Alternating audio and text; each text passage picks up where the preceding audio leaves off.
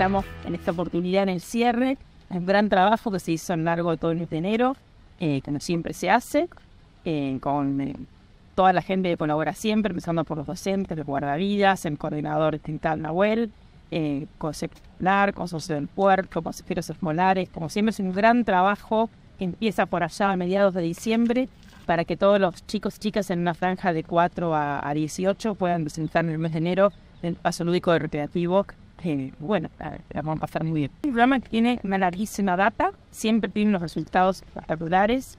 eh, y el acompañamiento de la familia, ¿no? Como siempre, después de la pandemia, el año pasado se volvió por primera vez, y todavía con un contexto de pandemia, por lo tanto las familias estaban un poco con alguna temor o reticencia, que por suerte este año ya no estuvo, y bueno, lógica, ¿no? Porque en una parte de toda la sociedad. Por otra parte, eh, fue grande la afluencia de los chicos, que pudieron disfrutar, el clima acompaña también, eh, se pudieron disfrutar espejos de agua durante todos los días, que antes antes era bueno, además.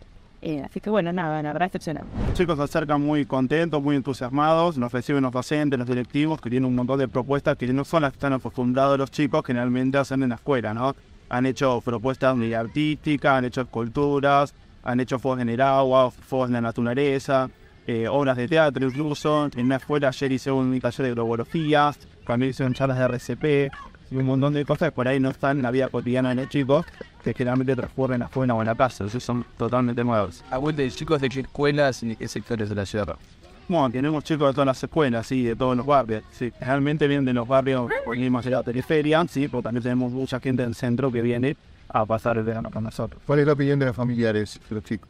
No, muy buena, la verdad no hemos tenido ningún conflicto con, con las familias, son estaban muy predispuestos, de hecho han participado en muchas propuestas de recién invitados, así que están más que contentos. ¿Cuál es el desafío más grande a la hora de tener que cuidar tantos chicos y chicas? Organizar toda la sede y más que nada tener en cuenta la seguridad, ¿no? Digo, el traslado hasta acá, si bien esto con los papeles reglamentarios y demás, bueno, venía la pileta, implica un riesgo, hay gente no sabe nadar, que tiene miedo al agua. Hemos tenido chicos los primeros días que querían meter por miedo, pero después terminaron metiéndose y jugando al water Uno entiende a veces que cuando los chicos cierran el ciclo escolar no quieren saber nada por algo que tenga que estar vinculado con la escuela. ¿Esta experiencia por ahí demuestra un poco lo contrario?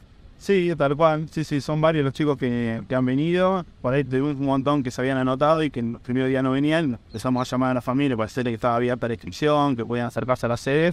Se empezaron a acercar y fueron sumándose. Incluso hasta esta semana sumaron chicos nuevos. Recién te veía cuando bajaban los chicos y las chicas en el colectivo, eh, un detalle curioso. Todos ataviados con la camiseta de la selección argentina. ¿Quién tomó esa decisión? Eso es propuesta de las escuelas porque bueno, van a hacer una constitución artística, cada escuela eligió de quería casarse para practicar y bueno, una de las escuelas tomó a la selección.